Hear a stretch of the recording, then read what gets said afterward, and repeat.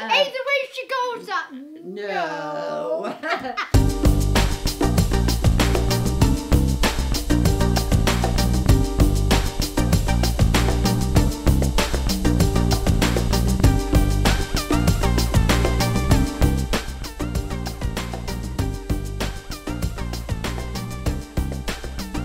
Hello and welcome. This is episode 15 of the Paul Ryder tapes. My name is Angela Smith and I'm the ex wife of Paul Ryder. And in the months leading up to his tragic death in July of 2022, he sat down with me in several recording sessions to tell his complete life story all of the highs and all of the struggles. And he told this story with complete and utter honesty that's really blowing everybody away. Coming up in this episode, We were just sat in the hotel bar one night, uh, at the bar, and this guy came and sat next to me. I thought nothing of it. And then I kind of glanced to the left of me, and it was like, fucking hell, Mickey Rourke sat next to me. and I'd just read that he was a Mondays fan as well. What's going on with the, with the bin liners? Why have you got bin liners gaffered to the wall? Um, and, and where's your windows? And this guy had sold the windows and the window frame so that he could get money so that he could buy some more heroin. I was bringing my dog in the other day, right, and a bloke at the end of the street says, oh, I believe a Happy Mondays lives down here. No, don't know, mate. Fuck that, I don't want anybody knowing where I live. Jesus, bad enough now. On a serious note, if anybody lets go now, everyone else is dead. Learn it. If I was on my own, if I didn't have family and, yeah, kids and stuff, yeah, and I didn't have a band, I'd probably be travelling around the world, up in the Himalayan mountains somewhere, yeah. smoking Nepalese temple balls. Can you adjust your chair so that you're slightly angled that way? Like that. Yeah, just so that, like, you're not so much. Of, never mind, actually, those are a bit better. Be, be like that. Very uncomfortable right now. Why? If I sit oh, like just this. face it's. Oh, I've not got my lipstick on. Oh my god. Hang on, sorry, I've got to put my lipstick on. Oh god. Right. You ready? Yeah. We're recording. Okay. So we're back again. Um, three weeks after Hmm. the last time we recorded something. And I've just run out to get my lipstick on because when you're doing a podcast, you have to wear lipstick. Okay. But you're not wearing it. No, I'm not wearing No. lipstick. So we left off the last episode in the early noughties. You'd started a new band called Big Arm that was going really well, and you'd supported Ian Brown on two tours. You'd also tried a strange detox substance called Ibogaine and set about helping to promote it. And I've been digging in the archive and I found a short clip shot by our friend Alan Howard following your promotion of Ibogaine. Let's have a look at it. My name's Paul Ryder. Some of you might know me from the rock band Happy Mondays. Not only was we a good band, but we was infamous for taking lots and lots and lots of drugs. Unfortunately, it wasn't a myth. And I ended up with a big, big, big problem, and I've struggled for many years in and out of uh, rehabs. Until I stumbled across a substance called Ibogaine from the West Central African rainforest, and it's completely transformed my life. I just think it's incredible and I do think it's a miracle because my dad's tried so many times in the past to to get better and to to stop his addiction but it's just never worked before. So I'm on a mission. Number one, I need to know all about the science and history of this substance. Number two, I need to spread the word about Ibogaine and do my best to campaign for it to be brought into the medical mainstream. Okay, I'm on my way to Stockholm. I'm going to meet Michael, um, former heroin addict who's been treated with Ibogaine. Michael's organised um, a lecture. I'm going to go over and say a few words, spread the word. Fellow Ibogaine warriors, I'm off. Come on, going to be late. Okay, so this is Michael, my fellow Ibogaine warrior. Um, like you say, you've done a lot of different detoxes and cold turkeys. What was different about the Ibogaine detox for you? It's it's the strongest thing that ever happened to me. So I thought, who the heck tricked me into this? Who made me do this? Was this a setup all from the beginning? And Isn't that uh, weird? Because I thought that as well Yeah, when you it started to work for me. Yeah. You're kind of coming from the same school of thought as I am, that, that people need to know about this. And, and... So where are we, Michael? well, we are in the middle of Stockholm. It's a place called Sergels Torg. This is where the street dealing goes on. And it's Stockholm's equivalent to kind of like Dam Square in Amsterdam. or Oh, I guess so, I Yeah, guess so. that's good. And uh, I'm going to pass out some of these flyers here because so many addicts hang around here. Yeah. Yeah. yeah, I'd probably come scoring down here as well one day. if I'm, in fact, I'm sure I've been here late at night once. I got a phone call from you um, um, about the idea of doing a doing a pilot um, on the use of ibogaine, which is this African um, uh, root or something, um, which you take, you go on this like insane hallucinogenic trip for God knows how long, and then you come back um, and all of the cravings that you had um, for heroin uh, gone. That was that was what we that was what we'd heard. That was what it was supposed to do. Right, we've only been down here like three minutes, and, and like there's four or five uh, obviously using addicts. Uh, I've zoomed in on Michael and uh, kind of like want to know more of what's going on. Uh, if you look at them, it's just like they've had the soul sucked right out of them, and I know exactly where they are because I've been there. And your soul does get sucked out here. You know, you're walking around like like little ghosts off Scooby Doo. If you're a heroin addict, it gives you a window of about a month to kind of get your therapy in, get connected with people who can help you before your cravings start to come back. So it does definitely work in terms of taking away the urge to use heroin. But the, the effects don't last forever, and they also recommend a second dose about a month later, and then it lasts a bit longer. But the idea, it's not like a quick fix, it's just like a stay of execution, really. Like you, it, it takes away the, the desire to use and then the onus is on you to get your therapy in to get your support system together Oh, yeah. in that window of time so yeah it, w- it was successful in the in the short term it took away the desire to use for sure but it doesn't come without risks What you can hear behind is Patrick and Michael setting up for tonight. Um, they're a bit nervous, and I'm a bit nervous as well. It's a bit like doing a gig, um, and you've got no idea exactly how it's going to go or whether anyone's going to turn up. But let's just go.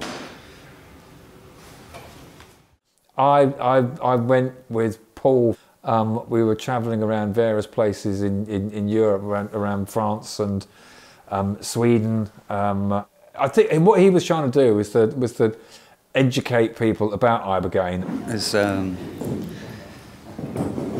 I don't know. I, I had visions of like one person turning up, but then again, that's my head. It's like when I do concerts, knowing I've sold 20,000 tickets, I still think, shit, what if no one turns up? You know, but this, this is great already.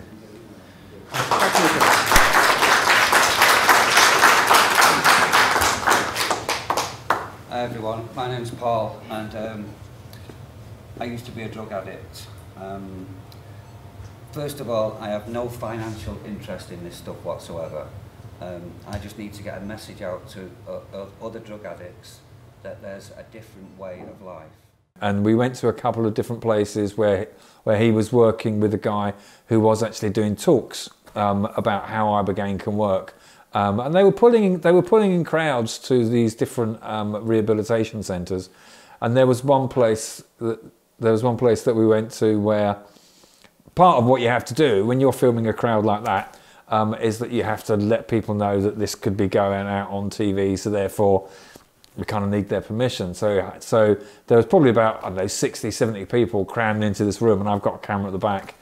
Um, and I kind of had to do a bit of an announcement beforehand, saying just to let you know, guys, if you if you don't want to be on camera, then if you sit to the left hand side of the room, um, you won't be on camera. But anybody who is in camera will just see the back of your head, so it'll be fine. Um, so I was kind of hoping that I'd just have this nice shot with everybody sitting there, um, and it would look like a really busy, busy um, event, which it was. Um, but obviously, 10 seconds after I said that, you turn to your left and there's 70 people crammed into the corner. and not one single person sitting in front because not one single person wanted to be on camera. Kind of understandably, um, but yeah. So that didn't that as a shot didn't work out very well. And I do hope one day that these people in government that are actually clueless about addiction will listen to people like myself, Patrick, and Michael, and maybe um, maybe we could help a lot of people with this. Do you remember filming Paul when he actually took the ibogaine? You were there when he when he took it. Yeah, it was quite a big thing because there'd been quite a big build up to it. Um, we'd spent a couple of weeks travelling around in this in this in this old jeep, um, telling the story um, of it and, it and, and spreading the word. I hope everybody gets something out of tonight. Do you remember being nervous for him about that? Like, because obviously there were cases where people had actually died doing this uh, treatment. Did it? Yeah, I mean, you know, I mean, when you work at MTV, you're kind of around drugs quite a lot, quite a lot of the time, and you've seen some people who have been in terrible states um, because of it. And I I mean, Paul told me some ter- some stories about people that he knew. There's one story about a guy um, back in Manchester that he is an old friend of his. He hadn't seen for years. He went to see him in his house, um, and. Um, went into the room at the back and it was all blacked out. The windows had like black bin liners over them, and he said, "What's what's going on with the with the bin liners? Why have you got bin liners gaffered to the wall? Um, and and where's your windows?" And this guy had sold the windows and the window frame so that he could get money, so that he could buy some more heroin. I'd love some big pharmaceutical company to take it and do lots of trials with it. But they're not going to do it, apparently. I think it went really, really well. A great turnout as well. And, and the, the right kind of people, right mixture of people. What happened to those tapes? Maybe there's an irony. Maybe there's some weird kind of irony in that the tapes got burnt to burnt to cinders in the big fire in the in, in the same chateau that they were they were filmed in. Ground up um, plant extract kind of looks very similar to other ground up plants that I've had before. But this is so uh, so so so so so so so special and can help so many people. What do you think motivated Paul to go out and spread the word about ibogaine? Though, what what was what was his motivation for doing that? Do you think? I suspect the motivation was probably more to do with the fact that he wanted to give other people a way out. Paul could walk into a room with his hat on and his head down, and you'd, you'd, you'd kind of never know that he was there. Um, and that's how he liked it. I mean, he was almost slightly embarrassed by that, I think. And I think that he was uh, somehow kind of revered because of because of that. Doubtless ibogaine really helped Paul for extended periods of time, and the medicine's mechanism of action definitely needs more research, but it's not a quick fix and it's something to help kickstart a recovery journey.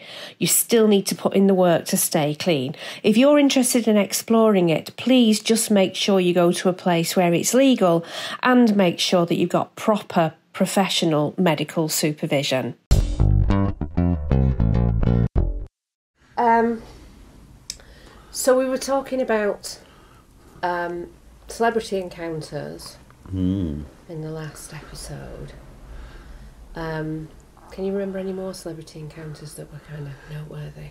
Oh yeah. Um, I'd just done a show with. Uh, I was playing bass for Donovan at Glastonbury, and um, after the show, I did. I think I did two songs as a guest performer, and uh, afterwards he said, um, "We're just going to go to my, my mate George's house.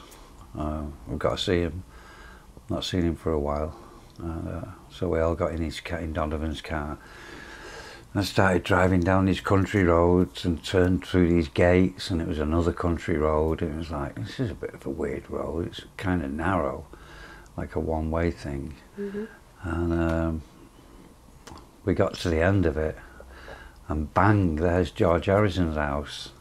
It's like his mate George was George Harrison. Did you recognise the house? Yeah, I recognised the house How did you know what his house looked like? because I remember him buying it and it was all run down, and he spent years doing it up, Right. fixing what, it all up. What was he like? He's, uh, wow, I just couldn't even speak to him. Really? It was like, I just couldn't get any words out. Uh, it was like George Harrison. I sat next to George Harrison, who's feeding me egg and egg and salmon sandwiches. Really? Yeah, and he said, uh, "Do you want do you want to go in the pool?" Um, and I didn't really want to go in the pool. And he said it was a hot summer's day, and he went, "It's heated." really proud that he had a heated pool. Um, You go in. no, I didn't go in. I went in the house, saw his ukulele room. Just a room just full of ukuleles all over the wall. He was a big George Formby fan. Really? Yeah, yeah, yeah, yeah. Was he your favourite Beatle? I think George was my favourite Beatle, yeah, definitely. I met three of the Beatles. Yeah. Yeah, I met McCartney and uh, and Ringo. Where did you meet them? Um, McCartney was at the first ever Q Awards for the for the magazine. Met him there, and uh, I met George at uh, Ringo at a self help group. Oh, right, okay. great, great Ringo story. I got introduced to him, and I- he's like, "This is Paul." I said, "Hi, I'm Paul. I'm from a band called Happy Mondays from Manchester." And he went, "Oh, right, nice one, Paul. Nice to meet you." So, anyway, I'm going now, and I was walking away. And he went, Paul, Paul, come here, come here. I went, "What?" He went, "I'm Richard from the Beatles." That's funny. Yeah, so I met three. I met three of the uh, Beatles. Wow. And Paul McCartney, what happened when you met him? He was nice, really nice. He he's um, he'd just been in the papers saying um, that the Mondays reminded him of uh, the Beatles during their Let It Be stage. Oh, that's a compliment. Yeah, so that was really cool. Yeah. Hmm. So what did you say to him?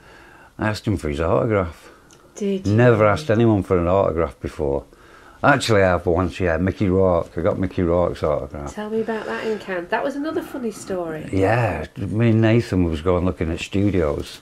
Went to the Bee Gees studio in um, in Miami on South Beach, and Bee Gees had a studio down there. Was when we was looking to record Yes Please, and uh, we was just sat in the hotel bar one night, uh, at the bar, uh, uh, uh, in the in the hotel, and this guy came and sat next to me. I thought nothing of it. Continued drinking, talking to Nathan. And then I kind of glanced to the left of me and it was like, fucking hell, Mickey Rourke sat next to me. and I'd just read that he was a Mondays fan as well. Wow. In, a, in one of the magazines, in one of the glossy magazines. So I introduced myself and said, I've got something for you. Ran upstairs and got him a CD and signed it to Mickey from Paul. Did you? Yeah, yeah, yeah. And what did he say? He said, "Oh, that's great. Thanks very much." I said, "Can I have your autograph?" He went, "Do you really want it?" I said, "Yeah, of course I do." So he signed a postcard for me. Anyway, that was it. He left. He said goodbye and blah blah blah. And when it came, when we came to pay our bill, the woman behind the bar said, "It's okay. Mickey's got it." Oh, that's nice. Yeah, It's nice to hear some actual positive celebrity encounter stories. yeah. I met some nice ones. Bowie was nice as well. Could hardly speak to him because it was Bowie. You know, he was my first childhood hero. Yeah. I could hardly speak to him. I just kind of stared at him like a weirdo. And where did you see him? Backstage at the, uh, I think it was the Palladium in Hollywood, facing um, facing Capitol Studios. Uh, uh, we'd just played there with the Pixies. He'd come down to see the Pixies, but he saw the Mondays as well. So I, I, I, I couldn't speak to him. My dad spoke to him.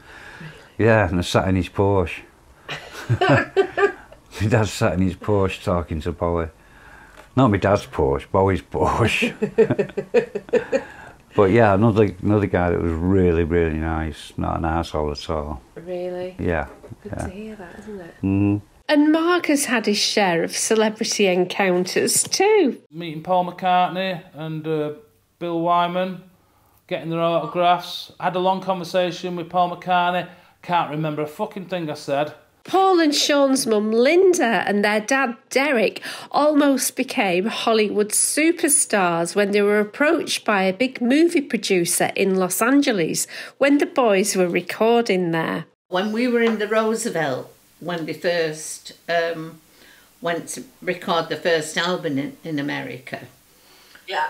I answered the phone one day in the bedroom, in the hotel room, and Derek was still asleep. So I said, Oh, just a minute. I said, You know, I'll have to get my husband. Didn't you meet Bowie when you were in LA? He walked past me. Didn't see fucking little bloke walk past me. Fucked. So Derek up and told him. And this was the fella who did Spinal Tap. Jane loves him. I'm fucking honest. I just I wasn't awake. I wasn't, you know. So I heard Derek say he wanted to come and meet us at this restaurant in Santa Monica. And Derek said, Look, I'm sorry. He said, I will not talk about the boys and the private life.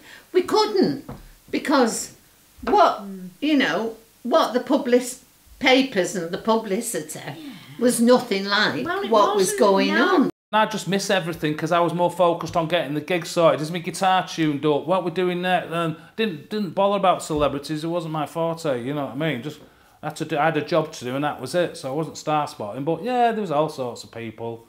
So we said, We're sorry, we will, you know, we can't come because we will not talk about the boys and the private life.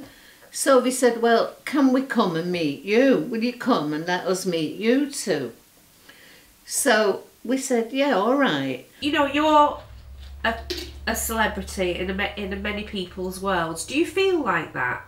No, no, no, no. I can go out. Nobody knows who I am. It's brilliant. And we went and we're talking to, they wanted to know how we met, blah, blah, blah, this, that, and the other.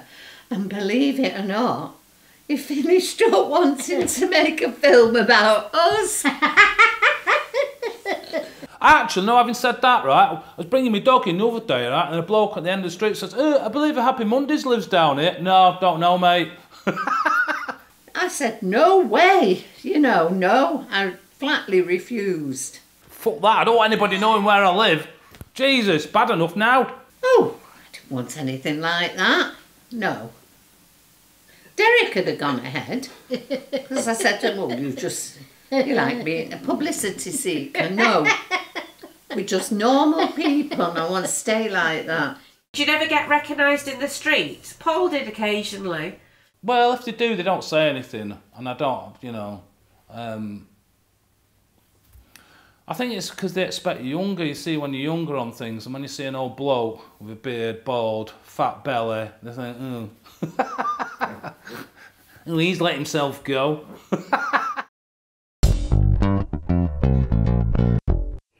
So you've had quite a lot of famous people come to see, come to your gigs through the years. Mm. Talk to me about that. Do you know, I can't remember any. Robbie Williams, you were. Fr- have we talked about your friendship with Robbie? Yeah, he came and rescued me, didn't he? Yeah, he did. We talked about. Came that and before. rescued me. Yeah, Do you know, there's not much to talk about. There's not much left. there's tons left, Paul. Is We've there? not even moved to LA yet.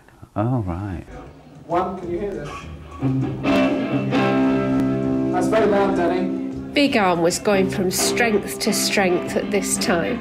I actually found some behind the scenes footage from a gig Big Arm did in London from around that time.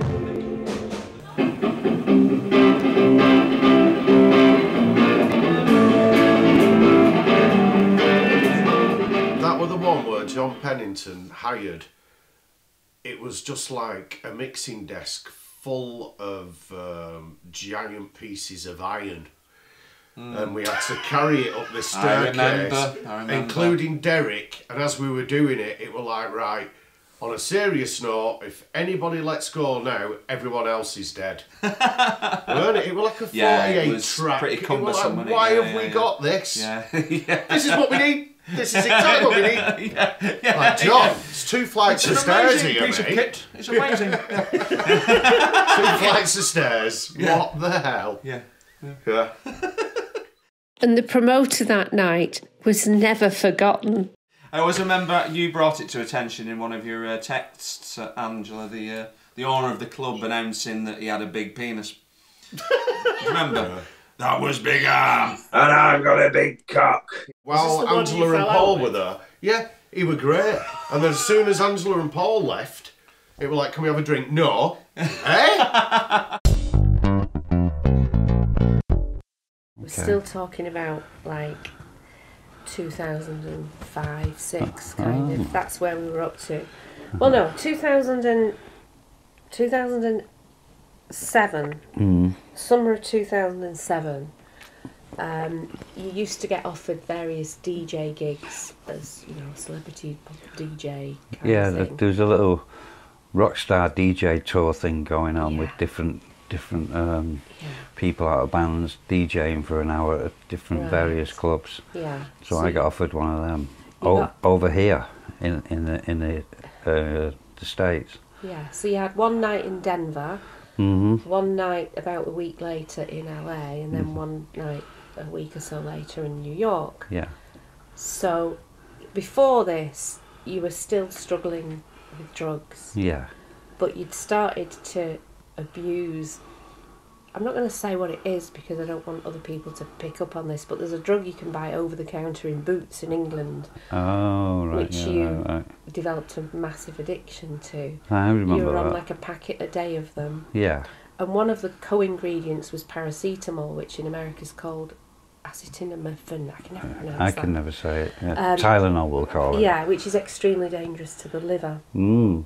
This is all relevant to the story that I'm about to tell. So, um, so you had this tour, and we thought, well, we'll take the boys, we'll make a holiday of it. So we'll do Denver, spend a few days in the Rocky Mountains after the gig, then we'll fly to to LA. We rented a place by the beach in LA for a week. Then we went to New York and we rented a place in the East Village. So it was like a holiday slash DJ tour. Mhm. So you were like, well, um, I'm addicted to these over-the-counter tablets, but if I'll, I'll buy, I'll get four boxes of them, Yeah. which in normal person's dosages would have probably lasted you. One packet would have lasted you a week if you had a headache all Yeah. the time. Normal. Um, so I said, well, you won't be able to take in, you know, a, a vast quantity. So it was like, we'll get four boxes. You take two in, I'll take two in, and that'll do. And uh, so we flew to Denver. We arrived, checked in the hotel in Denver, and the kids were young. They were like seven and eight, so we couldn't all go to the gig. So I Mhm. stayed in the hotel with the boys Yeah. and you went to do your DJ set in Denver.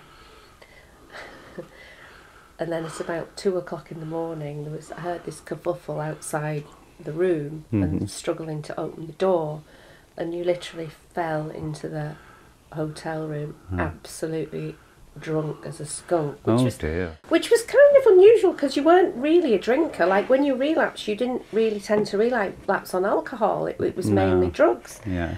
So you were a terrible mess, and I, I, I had no idea what kind of impression you left with the people at the club. But you said that it went well.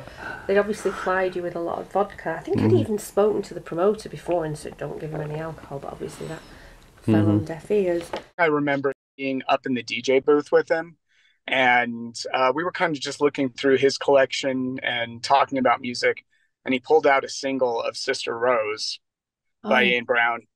Uh-huh. Told me that he he had worked on that, and I hadn't heard that he had collaborated with Ian, and so that Yeah. just blew my mind. Um, I think he saw my face light up, and he just handed me the single. So uh, I've still got that, and Oh. uh, it's So I remember that, and I remember being so happy he was he was there, and um, then I have to cut to the club's over, people are gone. Um, Paul, my co-DJ, uh, Michael Trundle, and I think our bartender Caesar were were hanging out at the bar. Everybody's on two feet and able to have a conversation, and it was great. Cut to us driving downtown, and uh, this was this was where I believe you were, right? You were at the hotel downtown. hotel, yeah, with the kids. And uh, by the time we'd gotten to the hotel, Michael and I um, had to I pull Paul out of the car, and uh, he had one arm around me and one arm around Michael, and we were walking into the hotel, and we realized we didn't have a room number, we didn't have a floor number, we we didn't really have any information. So, um, if I remember correctly, uh, Michael stayed posted up with Paul, and I went to the front desk and I said, "It's Paul Ryder. He's staying here. Uh, we need to know what room number it is." And um, and so we took him up to the ho- up to the hotel room, and uh, I think we had a key. We Oh. had a key to to get into the room because nobody came and opened the doors. And I seem to remember you waking up and and just a silhouette uh, of Mhm. you in the, the background and kind of surprised. And uh, we sat Paul, Paul down and said, uh, "Are you going to be all right?" And he said, "Yeah, yeah, I'm going to be fine." And um, and then that was that that was the closure of the night. The next Mhm. day, I believe we got a really uh, nice, gracious email from him, and he said, "You know, s- sorry guys, I, I'd had some ibuprofen earlier." I think he was just hella drunk, wasn't he? I think he'd just been drinking a lot of alcohol. And that's the thing, the altitude will do that to you. Like one drink out here may as well be the equivalent of three or four, depending Really? where you live. Okay. And right. so, um, and and you know, we weren't we weren't going to turn down the opportunity to drink way too much with Paul. So, Right, right. uh, yeah. So I think it just knocked off of his feet, um, being Yeah. at alt- altitude and having uh having all that free alcohol. Um, and then we spent a few days up in the Rocky Mountains. We rented a cabin. Oh, yeah, that was nice, yeah, yeah. that was nice. Yeah. And then by the time we got to LA, these four boxes of these painkillers Yeah. had gone, and you were like, "I need to see a doctor. I need to see a doctor. I need to see a doctor." hmm So the next week in LA was punctuated by you seeking out different private doctors and getting prescriptions Doctor shopping. for morphine. Yeah. Doctor shopping. Yeah, and you'd yeah. get like, okay, I've got enough now to last till the end of the trip, and then two days later, it's like I need to see a doctor again. Like it hmm. was just, Oh. it was madness. Yeah. And that's oh, do you remember when that was the trip when you met up with Russell Brand? Oh remember? right. Yeah, you yeah. reached out to him and the, and two Yeah, he took me up. to a meeting, didn't yeah, he? Yeah, Yeah. he was nice, wasn't he? I never met him, but you you were very. Yeah. So I was doctor Yeah. shopping. You were doctor shopping. You were in, and and we we spent the week in LA. You did your gig in LA, and then we went to New York, and again more doctors, more. I mean, it was pure madness. Yeah. And it it overshadowed the whole trip. And I remember saying to you, you can't come back to England. Like I'm not letting Mhm. you come back and go back to that house in this. This isn't. This isn't t- tenable. Oh, I thought I said I can't go back. But yeah. well, I said, I just said I can't do this anymore. This Yeah. that was my breaking point. That Mm. holiday ruined by you going to various doctors, Mhm. like ridiculously so. So the decision was made that you were going to go into rehab, and, Mhm. and originally it was like, well, I just need to do a detox. I'm like, no, you need to, you need proper full-on therapy. hmm So I flew back home from New York with the kids, and you flew out west to LA to go into a rehab. Yes. Originally for a month. Yeah. Tell me what that was like. I thought I was just going for 30 days, 30 day lie down. Do, do a detox and feel good enough to use again after 30 days. But it turned into um, three months, which I'd never done before. Out of all the other 11 rehabs I've been to, I'd only ever done 30 days. And, um, and it wasn't successful. But It three wasn't months. successful. Yeah, after just just Oh, doing the thirty previous days. ones, yeah, right, okay. After just doing thirty days. Mm. So this one in Venice on Venice in Venice Beach was like ended up being there three months, Mhm. which gave me time to get some therapy, proper therapy, Mhm. um, and some uh, some grounding on a in a self help group, Mhm. which was really good, Mhm. and uh, and it was it was successful this time. Mhm. It was three months of, well, three months of therapy turned into six years of therapy, Mhm. which was uh, which helped me tremendously. Well, the other benefit of that program was that when you came out after the three months, you did part time, like you did nighttime Mm, sessions. I carried on, about yeah. six months or something. I carried on having uh, uh, outpatient treatment. Mm. So in that three months that you were in rehab, I remember you calling me one day and saying, "I can't live in England anymore. Yeah. If I'm going to stay clean, I have to live in LA." And I Mhm. was like, "All right, All right. move to, let's move to LA." And I had a company. There was Mhm. stuff going on, but I just thought we have to do whatever's necessary in order to. Yeah. I suppose. I do believe if I'd have gone back to England, I probably won't be here now. No, I think that too. hmm You were on a self-destruct mission, really, and it Yeah. just, just didn't seem to. Well, Mm. maybe it was because there were too many triggers there. Yeah. I don't know. I needed time away from everything that had gone on with the Mondays, everything that had gone on in our private life, everything. I needed time away for everything Mhm. from England, Mhm. and uh, we did it. And it's like, did you see? Often people ask me, why did you move to LA? And it's a bit like, well, why not? Like, why wouldn't you want to live in a beautiful place? Yeah. Where yeah. the sun shines most days. Yeah. And there's tremendous opportunities to do stuff. Yeah. You know, it's the the hub of of the entertainment industry. I was in Mhm. the entertainment industry. So were you. hmm I just felt like it was a better place for our kids to be brought up and, Yeah, and, and a better place for both of us to, to grow as human Mm. beings and Yeah. it was it was a massive risk I didn't know I didn't know whether you were going to come out of that rehab after the three months and go, do what you did when you came out of Antigua and go and get crack on the way home Yeah. or not Yeah. so I was fully prepared to abandon the mission and go back if you came out and relapsed Yeah. but we we literally left the house with two suit. The boys had two suitcases each. I had two suitcases. Oh, we were heartbroken. Absolutely heartbroken. Not so much about Paul. Mortified. The boys. How could you do that? Take Sonny and Chico away mm. from us. Yeah. Yeah? Yeah. Absolutely mortified. but Linda at least had her best friend, drummer Gaz Whelan's mum Sandra, to keep her company. My mum and Linda, Paul's mum, Linda Ryder, probably first met at one of the early Mondays gigs, probably probably one of the big ones because they weren't allowed to come to any other gigs. We didn't like family coming, apart from obviously Derek was always there. Uh, and then they hit off straight away. I think they had a, a mutual liking of, uh, of alcohol and music and rock and roll. So every Wednesday night, yeah, my mum used to go down to Linda's house for what they call rock and roll Wednesdays. And my mum would drink a bottle of rum and Linda would drink vodka, a bottle of vodka, and they would play rock and roll music. And that went on for 30 years, 30 odd years they've been doing that, yeah, to this day. They're both 80 or 80, I think Linda might be 80, 81. And they wonder where we get it from, eh? You know what? You know what? There's, if you've seen the Leonard Cohen documentary, there's a woman on it talking about. She says uh, musicians and and writers and all that. She went, you can always tell. They said with the males because they always have crazy mothers. What's so funny about that, Sandra? Nothing.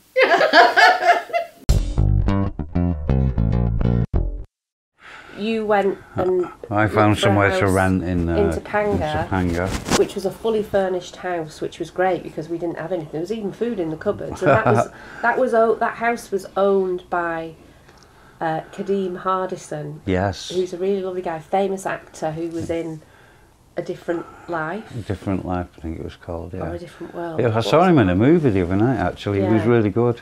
And uh, we were dealing with his mum, who's Beth Ann Hardison, who was Naomi Campbell's. She was the first manager. black supermodel. Yeah, she was. Back Her in the pictures were all over the walls. Yeah, went in. nicely decorated. Yeah, and Topanga was just a beautiful place to land. Like Topanga's in the the Santa Monica Mountains, but it's only about a forty minute drive to the centre of Hollywood. But it's like yeah, really, half an hour to Malibu.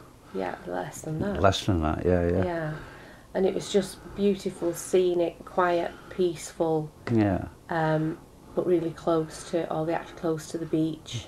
So yeah, why wouldn't beach. you want to move to California? Yeah, why not do that? And you know, moving here was the first time I'd ever been called an artist as well.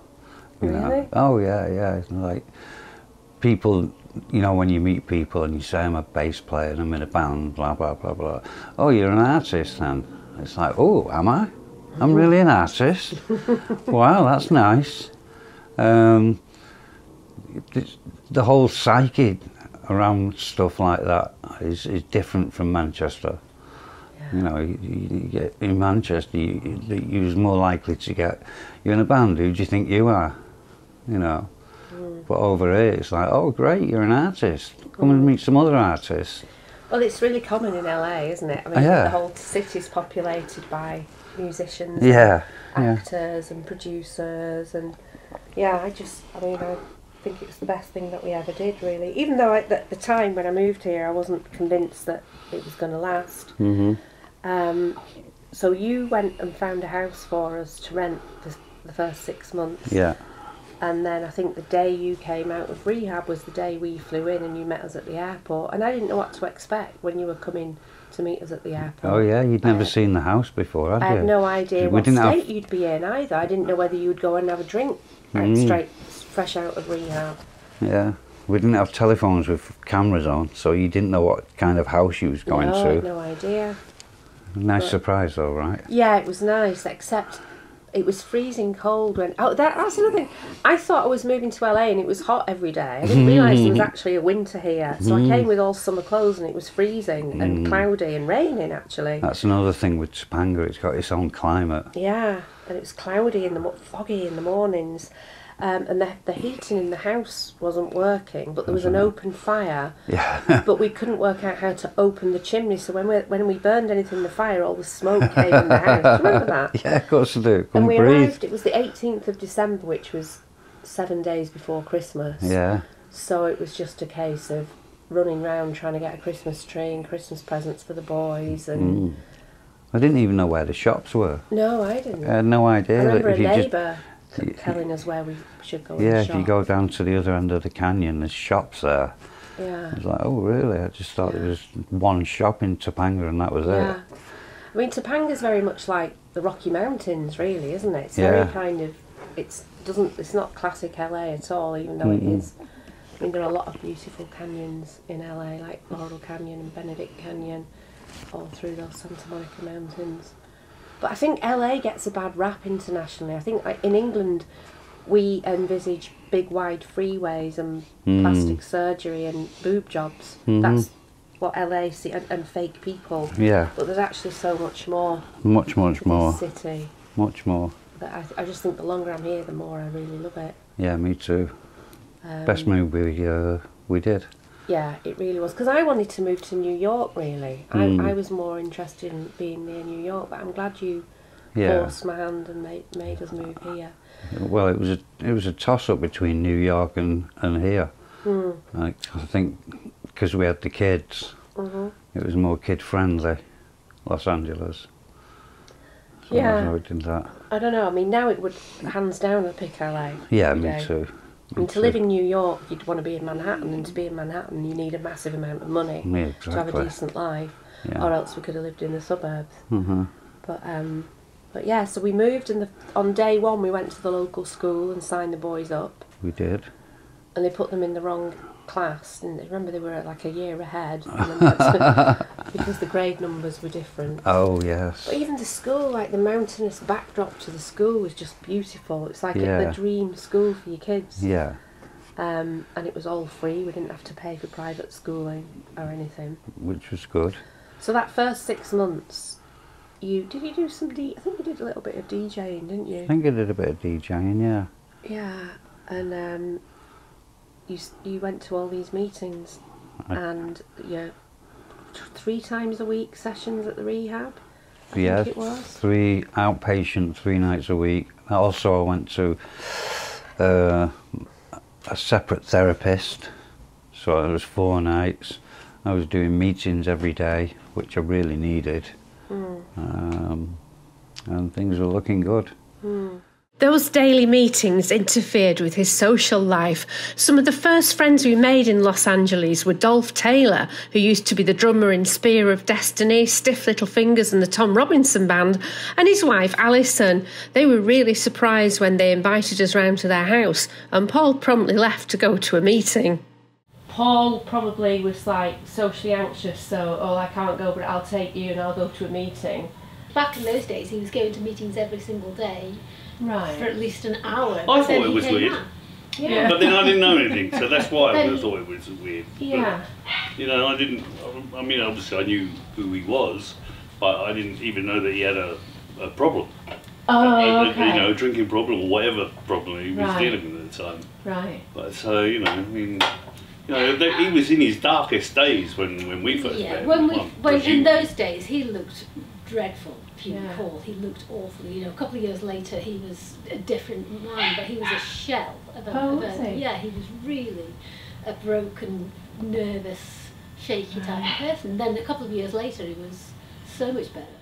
Can you talk about the detail, like for people who don't know much about what rehab is like? Can you talk about what what goes on in a rehab? Like what happens? What what's it? Wow, the first thing you've got to do is get detoxed. Mhm. It's, What's uh, that mean? You've got to slowly come off whatever your drug of choice is. You know, mine was, I was known as a dustbin because I'd take anything and, and large amounts of it. So um, I was detoxing off all kinds of different things um, that had taken over the years. But, but you didn't have to. I mean, presumably you're only detoxing off what you were addicted to at that point, weren't you? You didn't have to detox Yeah, off just- alcohol because you weren't drinking, or am I wrong? Oh no, I was drinking. Oh, were you? I never yeah, knew that. I was drinking, yeah. What? Just before you went in? I don't think you were. I think- Yeah, I, I Oh, ended up really drunk in New in York. Den- and in- oh, I don't remember that. Yeah, So I know. You, I remember you being really drunk in Denver. So you carried on drinking. and in New. I York. don't remember that. Yeah, yeah, yeah. Did I know that at the time? And that's selective memory on your behalf. Why? What happened? Remind me. I don't remember. I was just like like you described in Denver, only it happened in New York as well. Oh, did it? Oh, Yeah. I like that from my memory. Um, yeah, so you got a detox, and then the next thing you do is Look, um, tell me what detoxing is. Like, uh, what? Tell me what that feels like. well, I was I was coming off uh, opiates, Yeah. so it was hell. You know, I mean, it was a good detox. I mean, they try and get you off off the opiates as comfortably as possible, mm-hmm. but it was uh, probably like 90 degrees outside weather, hot, mm. and I was freezing cold. I had two two t-shirts on, two jumpers, two coats, hat, glove, mm. woolly socks, sat in the sun, freezing cold because I'm coming off these opiates. And what does that feel like physically? Hell. If you can imagine hell, But, that like, is hell. What are the symptoms? So uncomfortable, so painful.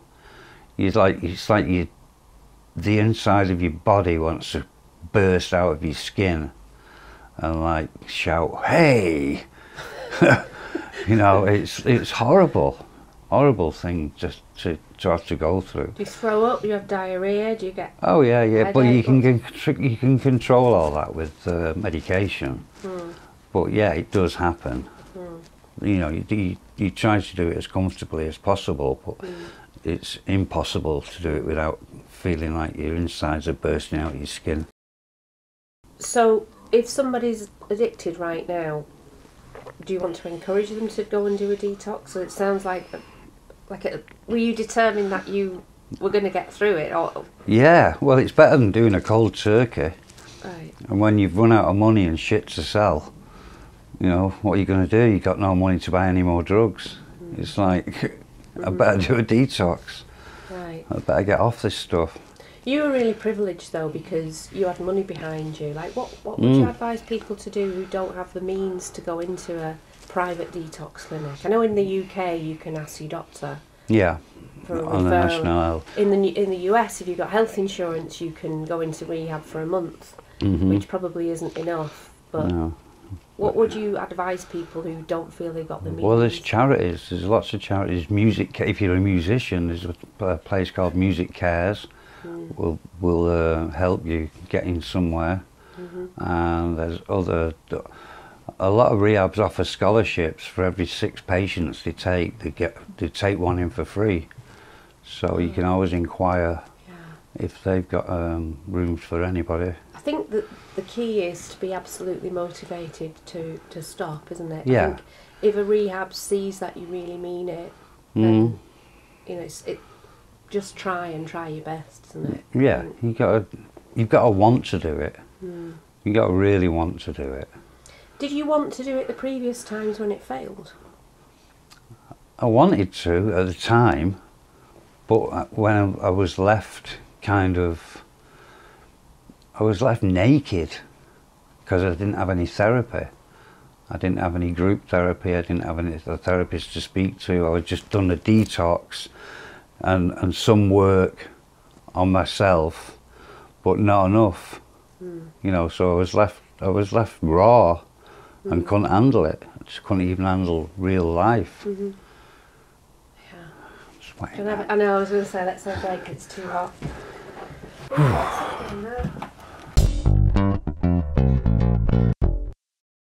Gutted.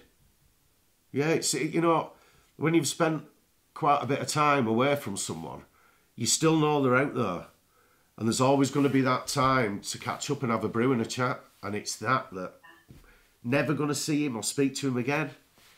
That's uh, an awful thought. I work with a lot of musicians, and they've all got demons of one sort or another. Um, Yeah.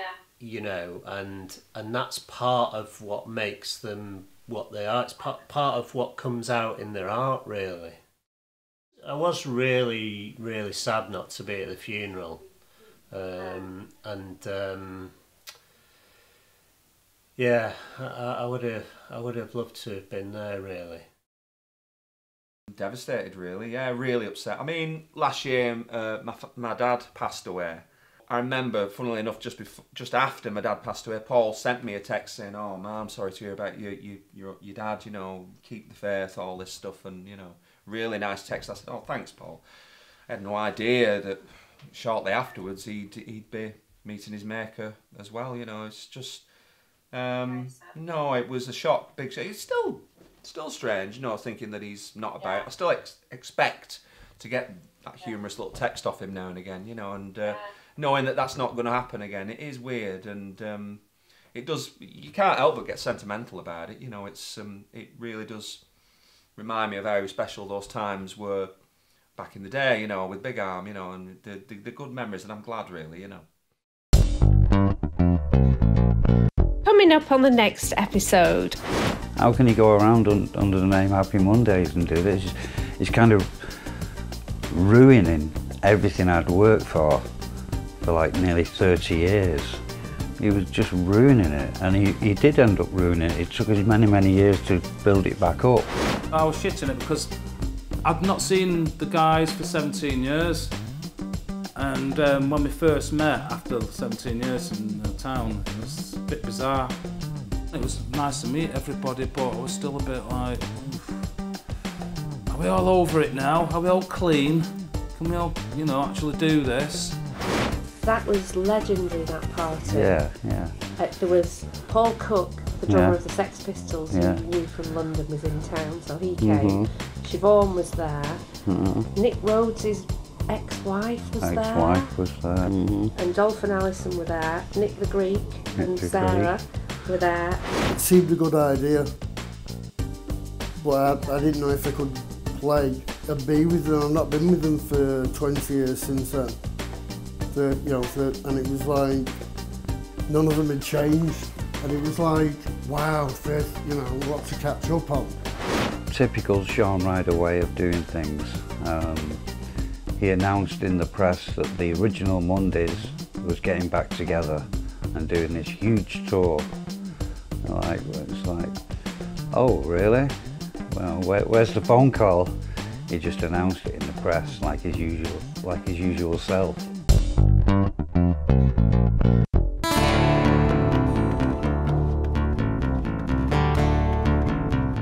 Playing out with the acoustic version of Big Arms Flashbacks. Please join us again, same time, same place, next week. Bag yourself some Big Arm merch by visiting our shop at paulryder.tv and please join our Patrons Club at the founding members rate. That's patreon.com forward slash the Paul Ryder tapes. Perks are coming up for all of our lovely patrons very soon, and special thanks to Kieran Cuddy, Joseph Davis, David Green, Paul Larkin, and Chris Barton for joining us. And if you want to listen to the next episode in podcast form, it's available right now on all of the podcast platforms. Have a brilliant week. Thank you so much for being here. Thank you to all of our guests, and of course, big thanks to the star of the show, as usual, the one and only, the late, great Paul Anthony Ryder.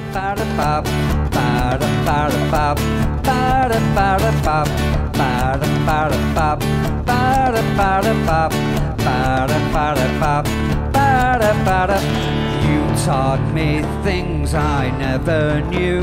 I told you what to say and do. You showed me one and one is not two. There's just one song that reminds me of you. And when you hear it, you'll know it too. Flashbacks.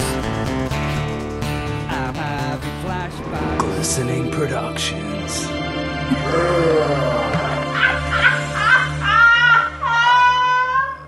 My mum, she says, has got more going on than me. Like she says, like, what's your perfect night out? And I say, well, sat in a pub, in an old man's pub, about four people there, with a pint of Guinness and a book. And she's like, you're bloody boring, you. You know, get out partying. And like, she goes out and has her friends and dances and all that. And I'm like, oh,